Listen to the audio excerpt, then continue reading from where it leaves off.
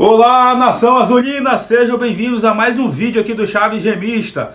Galera, a gente vai falar sobre a sequência de jogos importantíssima para o Clube do Remo na Série C do Brasileirão.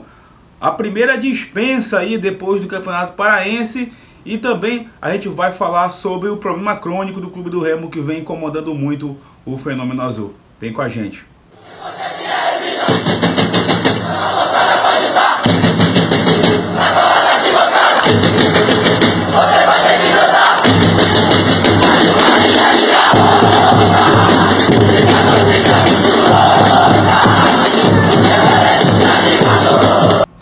Bom galera, já peço que você deixe o like no vídeo, é muito importante para que ele chegue no máximo de remistas no Brasil e no mundo. Se inscreva no canal, ative o sino de notificações e lembrando, assim que chegarmos na marca de 25 mil inscritos, tem sorteio de duas camisas do Remo para vocês aqui no canal. Esse vídeo que tem o apoio e o patrocínio da Bet Nacional, a Bet do Remo, a Bet da Amazônia, a Bet dos brasileiros, sempre com as melhores cotações do mercado. Futebol nacional, internacional, NBA e muito mais com a facilidade do depósito e o saque imediato via Pix.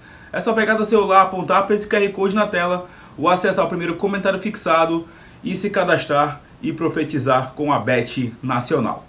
Galera, eu quero conversar com vocês nesta segunda-feira sobre o Clube do Remo. O vídeo é um pouco diferente, como vocês estão acostumados aqui no canal. Eu tive um problema aí com a minha internet. Até agora a operadora que presta serviços aqui para minha casa não tomou vergonha na cara e não veio consertar o problema, tá? Então a gente está improvisando aqui essa gravação, por isso que eu não gravei o vídeo desse último domingo. Mas queria conversar com vocês a respeito desse momento do Clube do Remo. O Leão tem uma sequência duríssima agora na Série C e importantíssima também.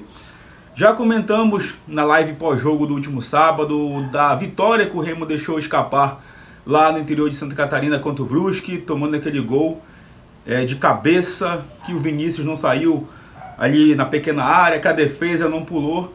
E aliás, saiu um estudo, né, recente aí, uma pesquisa na verdade, feita na imprensa, onde um levantamento foi feito sobre os gols que o clube do Remo tem tomado na atual temporada. O Remo tomou 31 gols em 2023. Desses 31 gols, 15, 15 foram de jogadas aéreas, 8 em escanteios. A metade, galera, a metade dos gols que o Remo toma é de jogada aérea. Então prova que é um problema crônico e que não é só o goleiro.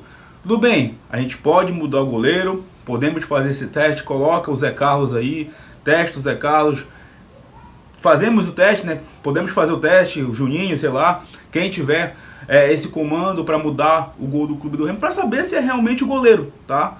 Mas eu não acho que é só o goleiro. Eu acho que é um problema crônico. Essa reportagem aí, essa pesquisa feita, ela provou isso, né? Que os gols que o Remo tem tomado, a maioria na temporada é muito pelo sistema defensivo, que eu até acho que deu uma melhorada no jogo contra o Brusque, tá? No primeiro tempo, principalmente, o Remo não sofreu tanto assim, no segundo, a gente sofreu principalmente com jogadas pelo chão, tá? O Brusque chegava com perigo, o Vinícius inclusive fez três boas defesas no jogo, mas naquele escanteio eles encontraram o gol de empate. E no futebol não existe o si, né? Existe a bola na rede, a gente tomou empate e perdemos a chance de começar a sonhar em sair logo dessa zona de rebaixamento, dois pontos que podem fazer falta lá na frente, tá? Então, fica aqui o questionamento, acho que a gente já bateu muito nessa tecla, vai depender do Ricardo Catalá, vai depender do Juninho, dos próprios goleiros do Clube do Remo, mas também vai depender de treinamento sobre essa questão do sistema tático do Clube do Remo na jogada aérea defensiva, porque é sim um problema crônico. O Remo na bola parada ofensiva, ele segue sendo inofensivo. Tá? O Remo não consegue fazer gol de cabeça, o Remo não consegue ser perigoso e defensivamente tem sofrido bastante aí na atual temporada. Galera, eu queria conversar com você rapidamente aqui sobre uma notícia que saiu lá no DOL sobre uma provável aí mudança na Copa Verde dos próximos anos de tentativa de valorização, tá? O presidente do Goiás deu uma entrevista onde ele disse que ele irá tentar conversar com os presidentes do Cruzeiro do Atlético Mineiro e do América Mineiro para tentar trazer essas equipes para disputar a Copa Verde futuramente e tentar valorizar mais a competição, tá? Tentando chegar no nível aí da Copa do Nordeste. A gente está vendo né, que a Copa Verde, infelizmente, não tem é, atraído investimento, televisionamento, premiação para os clubes.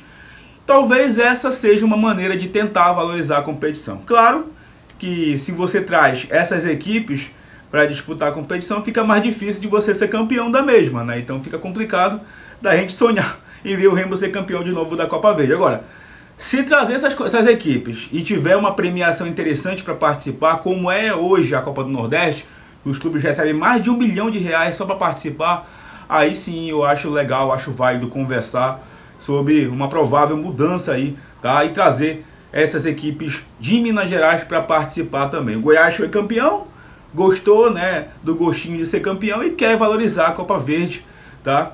Que desde 2014 não tem a valorização que é esperada. Enfim, vamos aguardar as cenas dos próximos capítulos sobre esse assunto. Queria conversar com você sobre a sequência importante que o Remo vai ter aí na Série C do Campeonato Brasileiro, tá? O Remo vai encarar América de Natal, Aparecidense e Pouso Alegre nos próximos jogos. E é muito importante que o Remo foque em ganhar nove pontos nessas partidas. Eu vou explicar por quê.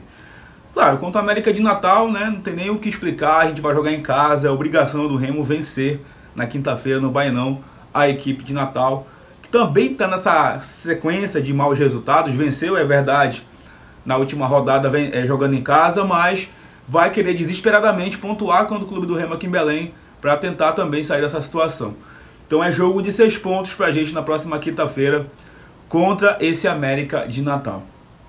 Depois, no domingo, no próximo domingo, lá em Aparecida de Goiás, o Remo enfrenta a Aparecidense também jogo de seis pontos. Aliás, a Aparecidense ganhou ontem em Piranga fora de casa e deixou o Remo novamente na lanterna. Então é outro confronto que o Remo tem que pensar em ganhar, não só em pontuar, tem que pensar em ganhar. E depois o Remo, no dia 17, encara a equipe do Pouso Alegre lá em Minas Gerais também tendo que vencer para aí sim, se o Remo conquistar duas vitórias contra América de Natal e Aparecidense, vencendo o Pouso Alegre, eu acho que a gente já consegue até sair da zona de rebaixamento, tá? E começar a galgar uma sequência. Só que para isso acontecer, para que isso possa acontecer, a gente tem que primeiramente vencer o América de Natal jogando em Belém na próxima quinta-feira. Inclusive para esse jogo, tá? Tem aí um desfalque certo, que é o Álvaro, né, que tomou o terceiro cartão amarelo. Nem sei se eu posso considerar isso um desfalque, porque o Álvaro ainda não estreou pelo clube do Remo, só atuações aí pífias pelo Remo Azul Paraense.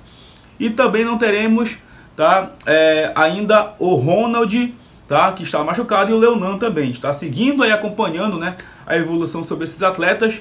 Lembrando que o Remo não divulga mais tempo de recuperação dos jogadores. Quem pode retornar para essa partida tá, são os zagueiros é o zagueiro Ícaro e o volante é Richard Franco, tá? Devem retornar para esse confronto contra o América de Natal. E hoje o Clube do Remo anunciou nas suas redes sociais, no seu site oficial, o desligamento do lateral esquerdo Rai Lopes, tá? Foi desligado aí do Clube do Remo, não vinha atuando desde o Campeonato Paraense pelo Leão Azul Paraense e é o primeiro depois do Campeonato Estadual a deixar o Leão. E a gente segue aguardando, né? O clube do Remo continuar fazendo essa limpeza no elenco.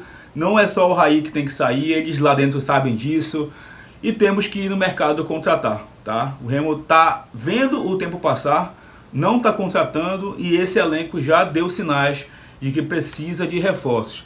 O Ricardo Catalá, inclusive, no pós-jogo, tá? Do último sábado, disse que o Remo precisa qualificar o elenco. Ele vai ter que trabalhar com o elenco mais qualificado e eu espero que a diretoria não perca mais tempo e vá atrás desses reforços. O Rai Lopes, ele era o alvo mais fácil nesse momento para sair. Ele não estava jogando. Mas e os outros atletas que não conseguiram passar também aí nesse teste, né? De vestir a camisa do clube do Remo, chegar e agregar. Porque jogadores chegam aqui e não conseguem render. O Rogério é o exemplo claro. Inclusive, saiu a informação de que o Catalá ainda vai avaliar a situação do Rogério para ver se ele fica ou não. A gente não sabe se é uma questão de que o Remo não conseguiu entrar em acordo com o atleta ou se simplesmente o Catalá chegou lá e pediu para que o Rogério ficasse. Enfim, é até chato ficar batendo nessa tecla porque a gente já cansou de falar sobre isso, já cansamos de falar que o Remo precisa se reforçar. A rodada, a, o campeonato está passando, já vamos para a sétima rodada e seguimos aí nessa nessa expectativa né, de que algo mude e o Remo vá para o mercado contratar peças que cheguem para ajudar. Lembrando, isso é muito importante. Quem chegue para ajudar e não para se adaptar ainda ao nosso clima, à nossa cultura, seja lá o que for. É isso, galera. Queria muito que vocês comentassem sobre esses assuntos que a gente trouxe para vocês aqui. Deixar seu like, se inscreva no canal, compartilhe com seus amigos, que em breve a gente retorna para falar mais sobre o Leão Azul Paraense. Tamo junto, valeu!